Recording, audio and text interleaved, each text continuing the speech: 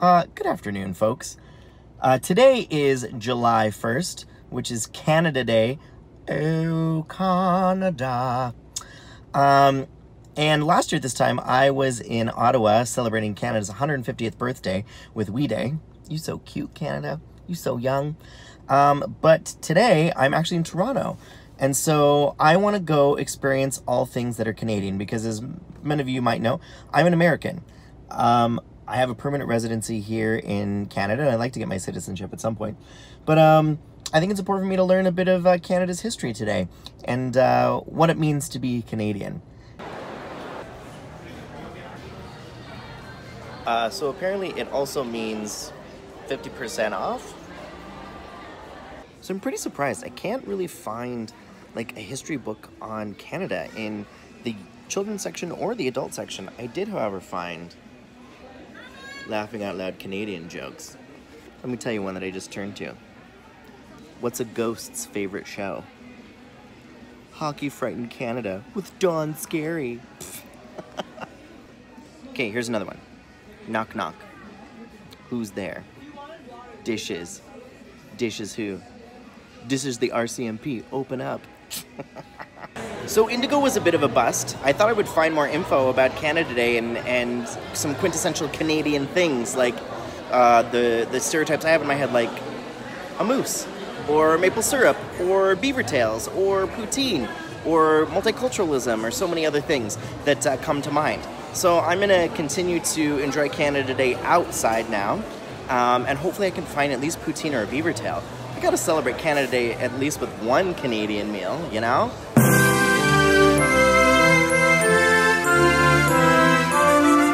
So I'm now in Dundas Square, which is like the heart, I would consider, of Toronto.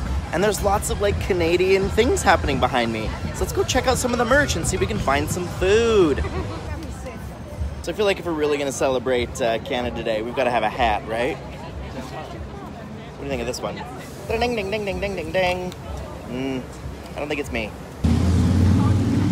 Okay, so here's what I know about Canadians and Canada Day. They're 151 years old today. Um, there's like the Toronto sign behind me. That's so nice. They've like changed it. I don't know what the circle is for, but uh, it's obviously something important. Um, when I think of Canada, I think of multiculturalism. I think of poutine, and I think of beaver tails. I was hoping to get at least one of those somewhere, but here at City Hall, there's like nothing happening. So I must not be in the right place. I'm back in the car. Uh, I made it out alive from the Eaton Centre in Dundas Square. I did get a free Canadian flag. I feel official. Um, this wasn't where the main festivities was. I thought there would be more things and like more things to, to eat. I'm hungry. So I just did some research on old Google, and Google told me that Mel Lastman Square, which is in North York, is where all the things are happening this year. So I'm gonna head up there. It's six o'clock, so I'm sure it's gonna be a madhouse, but let's go check it out. Maybe we can get a beaver tail. So I am not actually at the place that I said that I was going to go to um, because it's so far away. It's like a 40 minute drive and it's already like 6 o'clock. So what I decided to do instead is I came down to the lake shore where I know there are beaver tails. So I'm going to go sit by the water and have a beaver tail and let's chat about Canada Day and what I've experienced today. I made it. There's a lot of choices. The line is pretty long, but it's worth it. We're getting a beaver tail. Okay, so I'm sitting at the harbor front. I got some water and I got a beaver tail. I got the one with lemon. Now, the strangest thing just happened to me, so I have to tell you because I had I was all like ready to like film me ordering the beaver tail and then collecting the beaver tail and I'm um, telling the guy that I was so excited to like get the beaver tail. And I had the camera in my hand, it's on little Osmo, and um, it was on because it was my turn next. And there was a couple behind me, and I hear the guy go, "Dude, put that away. It's creepy." And I turned around. I was like, "Sorry," and he was like, "Stop that." And I was like, "I, what do you mean?" And then I looked. I was like, "It's not recording. What do you mean?" He's like, "I see what you're doing. Stop that." And I was like, "I'm not doing anything." And then I got self-conscious, so then I just turned it off. And then I realized what I think he thought I was doing is there was these two women in front of me, and, and because of how short I am, the, the camera was right at their like bums. And so I turned around to him and I was like, just so you know, I'm gay. So I wasn't filming their asses. I wasn't even interested in that. So I feel a little bit bummed because it ruined my beaver tail experience. Uh, but I guess this is part of the vlog life in regards to uh, vlogging in public. It was a weird thing. I still feel weird about it. And uh, I don't usually like snap back or get in like a verbal confrontation like that, but I was so mad that I had to say something to him. So I'm gonna shake that off right now. I'm gonna eat this. Oh god, it's good. Mm. Okay, I finished my beaver tail.